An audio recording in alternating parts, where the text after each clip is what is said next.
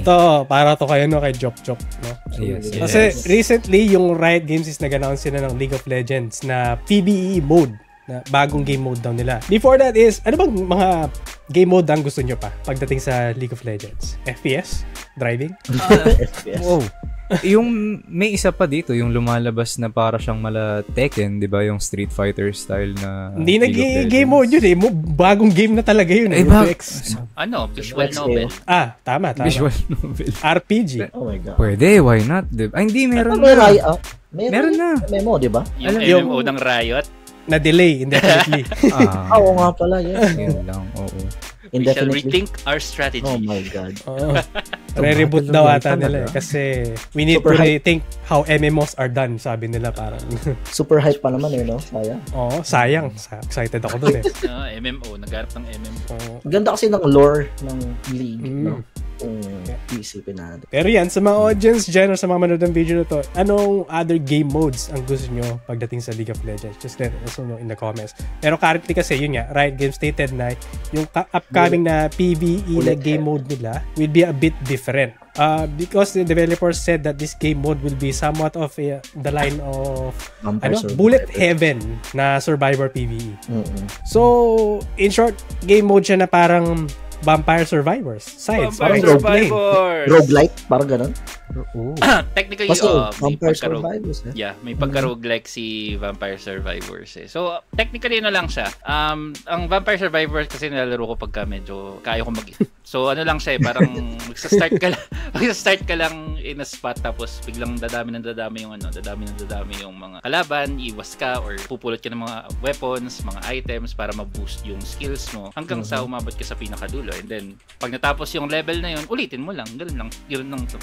Ganun lang siya. So, iwas, yun nga, bu- bullet niya ako sa term na bullet heaven eh. Kasi ang alam ko, bullet hell eh. Oh, yung bullet hell baliktad eh, di ba?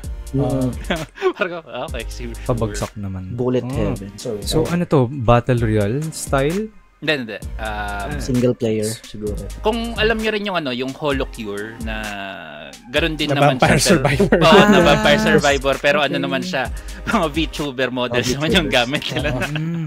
na models. May Papatay ka ng ano, ng horde ng monster tapos may mapipick up kang power up. Isipin mo Ah, kontra ah. pero ano siya? ah, Na isome- boom, iso- ano, oh, mapa. isometric view ba tawag doon? Ah, Down, okay. yes, oo. Top top, top down. Yeah. So, na-ask ni Ken kanina if single player ba siya. So, sa ang kagandahan dito is players will be able to fight against hordes of enemies by themselves or with friends. So, pwede Uy, siya nice. multiplayer. Oh, wow. Nice, nice, nice. Oh. nice. Vampire Survivors kasi Oh, single lang. ang kagandahan pa rito is League of Legends characters yung gagamitin. Yeah. Then, uh, according to Riot Games, the Bullet Heaven Survivor dyan is, ano, lal, ano daw to, slated to be released uh, around ng mid-year of 2024. So, Mm. malapit na. Wow. Kasi- okay. Q2 na tayo eh. Yeah, the, the question is kung ito bang multiplayer niya or something is is it local or parang Oh, like, yeah, yeah, yeah. online multiplayer kasi parang medyo challenging ito kung I Ano think to, no? online siya kasi parang part lang siya ng game mode nung ano eh nung ng league. nung League of parang ano Legends. lang siya, eh. parang mod lang siya nung ano. Oo. Mm.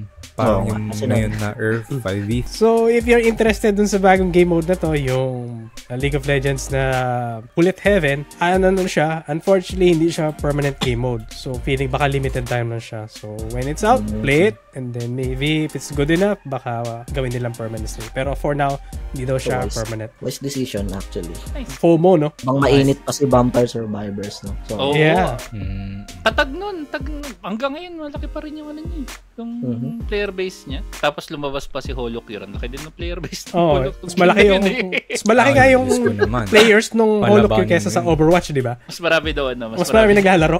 mas marami daw mga mahilig sa VTuber. So nga pala, shoutout nga pala sa mga nasa chat, sila Tokay Licious, uh, Lampas Hupa, uh, Reconnecting? si- Ch- reconnecting page, tapos si Shell meron isa na, eh. na ano. Hindi, hindi, hindi, hindi, hindi. Titin ako din eh. Nahanap ko Yan. din. Meron pa, may isa eh, yung Si Voodoo, D- si Voodoo. Y- yeah, Voodoo Jess, meron pa isa eh. Tsaka Uh, si M something. Yung, DN ah, ah, Emperor yun, yun, yun, yun, 217. yun, yun, yun. Yeah. And then salamat nga pala sa mga follow sila Tora sa sila Agile 1220, sila Sour Cream, Roger Dodger, Kula at Claudia San. Then salamat dun sa mga nag-comment sa YouTube video, sila Zional Zional Gap. Yeah. yan. Yun na yun, Zional Gap. So if you like, shout out sa comment na kayo sa mga videos namin. And then, Goat. The rest. Ay, ba't di mo daw sinoutout si Shell, sabi nito.